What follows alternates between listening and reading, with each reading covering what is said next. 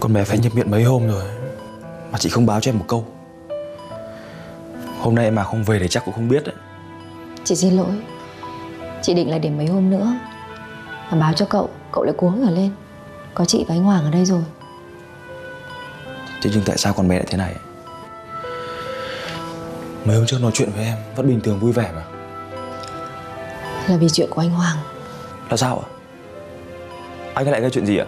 Không. Mẹ của Hà tìm đến tận nhà chị Để đòi công bằng cho con gái. Thư nó chứng kiến được. Sau đó Nó tự tìm hiểu tất cả các thông tin về bố. Và nó đã tìm thấy trong máy tính của Khang. Sao các con lại giấu mẹ? Mẹ. À? Ờ Con xin lỗi. Anh Hoàng không muốn mẹ phải lo thêm ạ. Chúng ta là người nhà Mẹ cũng có quyền được biết chứ.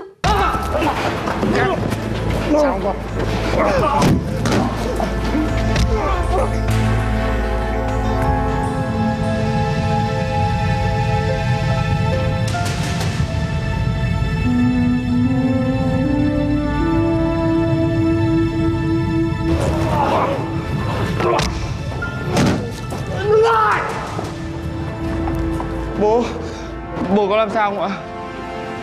Không sao đâu Bố Để con đưa bố đi viện. Bố. Bố không sao. Yên tâm con Bố ơi. Bố. Bố. Bố ơi bố bố tỉnh lại đi bố ơi. Bố ơi. Bố. Con xin lỗi. Con xin lỗi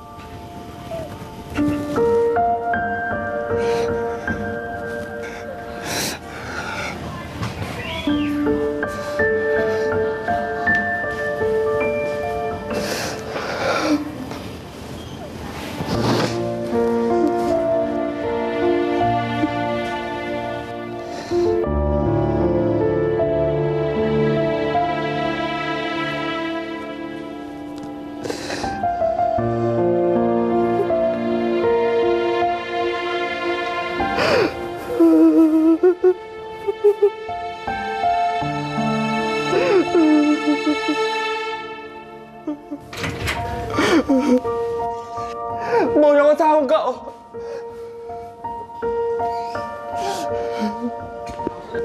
Bố!